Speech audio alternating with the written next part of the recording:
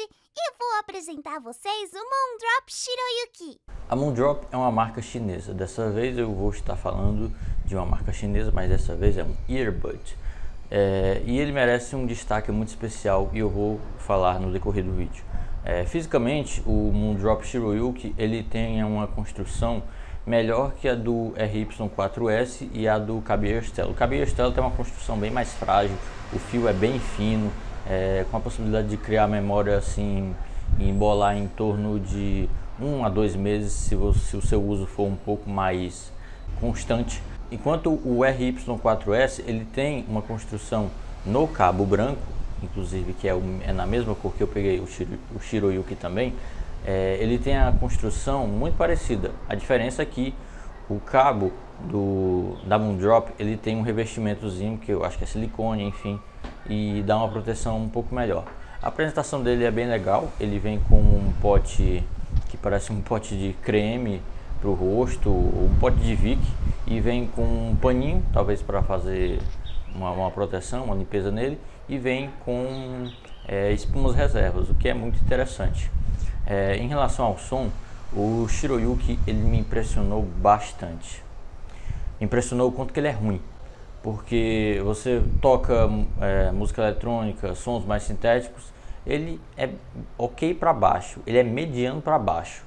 É, um, é, de uma qualidade de um fone da esquina, é um fone de camelô. E quando começa a tocar sons mais exigentes como rock, é, metal, meu amigo, é uma das piores experiências que eu já tive com o Earbud. Os, a separação de instrumentos é horrível, tem chiado, é embolado, não existe agudo, não existe agudo. Se tem agudo nesse fone da Moondrop, ele, to, ele foi totalmente roubado e foi colocado nos Moondrops SSR e o SSP.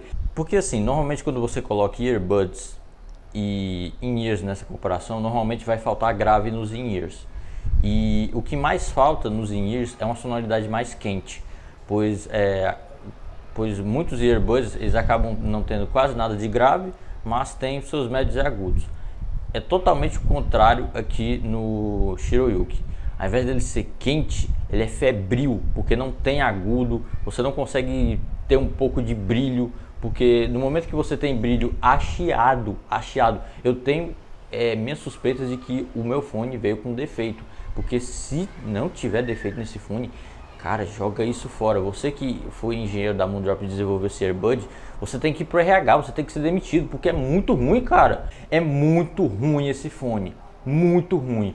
E para piorar, ele custa 50 reais. Não, eu comprei ele por 50 reais no desconto. Ele custa realmente 70 reais. Por 70 reais você pode comprar dois a três fones como o Stellar ou o RY4S. É um fone que eu não aguentei nem 20 minutos e esse fone não merece meu review por mais de 5 minutos. E é isso, gente. Eu espero que vocês tenham gostado desse vídeo. Se inscrevam no canal, comentem, deem like e por favor me indiquem earbuds que tenham uma qualidade um pouco parecida com o RY4S e o Stellar, porque o Moondrop Shiroyuki passa longe. A construção é boa, é melhor que a dos dois, a apresentação chega perto da do Stellar, mas o som não dá. O som é um dos piores fones que eu já vi na minha vida, e se tratando de fone barato, que não dá para ser exigente, mas é intragável ter um fone desse na sua coleção. Eu não sei como é que eu vou me desfazer de um fone desse. Provavelmente ele vai servir de qualquer coisa, menos para colocar nos meus ouvidos. Muito ruim.